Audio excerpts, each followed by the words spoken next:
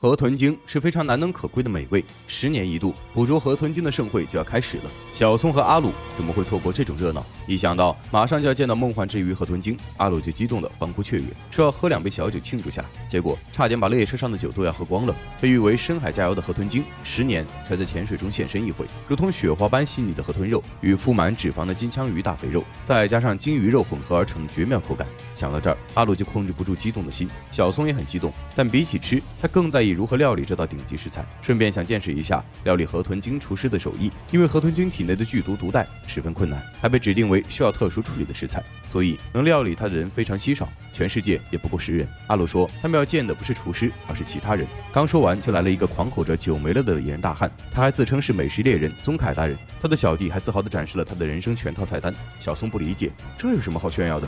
竟是些自己平时做菜常用的食材啊！阿鲁没对他的菜单做出评价，而是在他面前站起来，绝对身高差让宗凯感觉满满压迫感。他被吓得用最温柔的语气说出了最嚣张的话：“那这次就放过你了。”阿鲁没有在意，这辆列车上坐满了前往捕获河豚精的美食猎人，到现在可能会发生争夺战，所以现在已经开始互相试探了。宗凯到处吓唬人，估计就是探探虚实。他想把酒分给宗凯也不是坏事，多个朋友多条路，说不定到时候有用得上他的地方。说完，一个白发老者也来向阿鲁要酒，还说日后一定会还这瓶酒的恩情。阿鲁和小松下车后，来到了一个空荡荡的城镇，现在正是猛兽出没的时间，居民都躲在家里避难。刚聊了两句。就有个大家伙踏着沉重的步伐走出来了，这是捕获等级为十的凯顿龙。小松被吓得说不出话。阿鲁却吐槽，这翼龙怎么烤煮都不好吃。不远处走过来一个戴着绿帽的小哥，他视若无睹的从恐吓他的凯顿龙身边走过。凯顿龙多看了他几眼，然后灰溜溜的走了。阿鲁跟小松说：“看，接我们的人来了。”小松看着眼前的小哥不明所以。阿鲁介绍道：“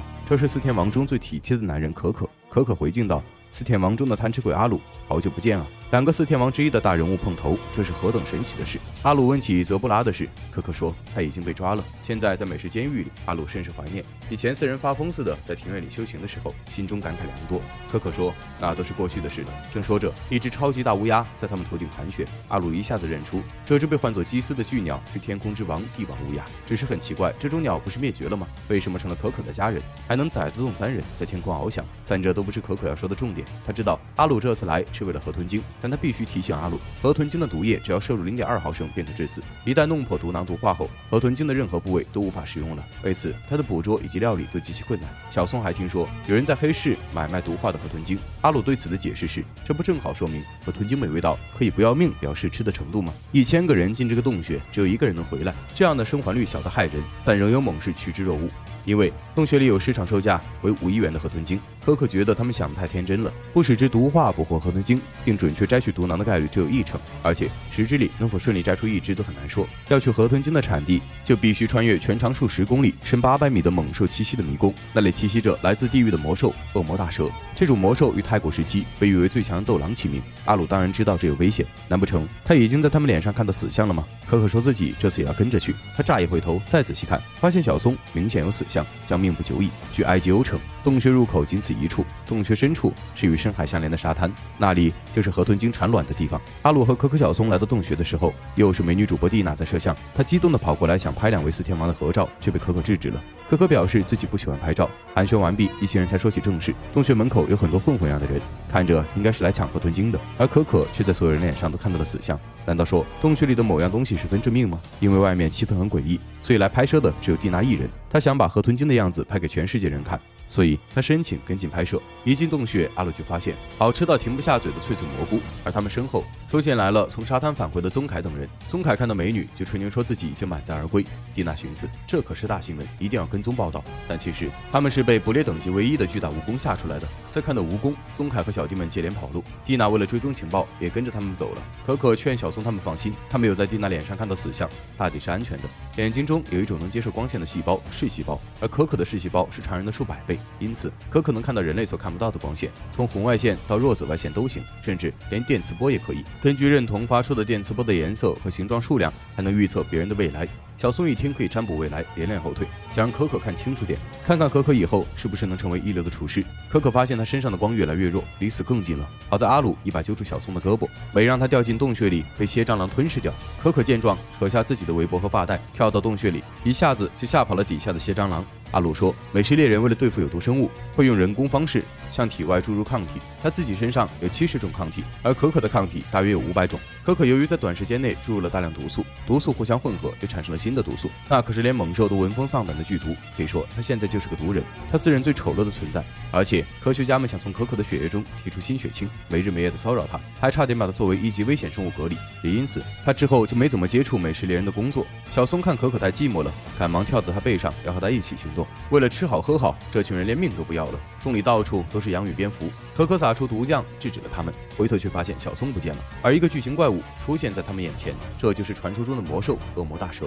它的叫声产生了回响，整个山洞都塌了。在洞穴外的蒂娜靠小松头箍上的微型摄像机找到了小松，只不过他看到小松此时被一个彪形大汉抱走了，壮汉正在往山洞的深处赶，他一边跑还一边嚷嚷。他想让可可和阿鲁在外面吸引火力，再把小松当做吸引猛兽们的活祭品，自己则偷偷找到河豚精。阿鲁和可可此时还在水深火热之中。恶魔大蛇一只爪子将阿鲁放倒，死死钳在地上。紧接着，他嘴里汇集消化液，看样子打算让阿鲁和自己的出手同归于尽。阿鲁霎时肌肉暴涨，挣开了爪子的束缚，同时还躲过了大蛇喷洒的消化液。随后，他露出刀叉，对准大蛇就是一通暴揍。但大蛇可以像壁虎一样再生，而且速度很不一般。阿鲁被打进墙壁，但很快他又斗志满。满的继续战斗。我知道你的肉很好吃，我就来吃了你吧。阿鲁在这片黑暗中看不清楚，所以比起来很吃亏。而可可能准确捕捉到大蛇身上的电磁波，因此可可让阿鲁先去找小松，自己来对付大蛇就好。阿鲁认为小松做好了遇险的觉悟才来的，所以他能自己解决危机。而且仅凭一个人是无法干掉这条大蛇的，需要两个人的力量才行。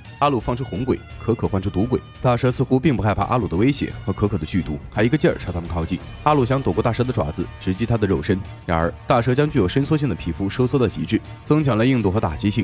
可可意识到，大蛇仅通过刚才一击就已经学会了如何防御阿鲁的刀。可可对其放出毒炮。大蛇也有样学样，从头发里喷出毒液。大蛇鼻子上有删除细胞最活跃的地方，那恐怕就是它的感知器官。只要毁了那里，应该就能限制它的行动。阿鲁在一旁蓄力，可可便顶上前，先用毒步枪暂时封闭了他的感知器官。然而，在他使出毒炮的时候，却被大蛇一把抓住了。原来大蛇的感知器官不止一个，其他的都被他隐藏起来了。大蛇朝捏在手里的可可吐出一口消化液。可可虽然先用了毒膜防止消化液溶解自己的身体，但毒魔需要消耗体内大量毒素，在恶魔大蛇攻击前，他的毒就会消耗尽。而且他没想到，大蛇竟然没有迟疑，直接朝他身体扎进头发毒针。可可让阿鲁专心，自己还有办法反抗，因为没有抗体的话，现场做出来不就好了吗？自己可是毒人呢。可可做出来的抗体和本体的毒源源不断朝大蛇蔓延。此时，阿鲁的麒麟臂也蓄力完成了，他手臂弯曲成直角，仿佛已经注入了钢钉。他朝大蛇出拳，五连钉拳。将大蛇揍飞到一旁，顺便接下了从天而降的可可。完事后，阿鲁就地切割了大蛇，正寻思怎么把肉搬走，可可一再提醒他该去找小松了。阿鲁却半点不慌，还说自己已经给了他遇险时能独立脱险所需的秘密武器了。但他没有想到的是，小松和壮汉这边也碰到了一只恶魔毒蛇。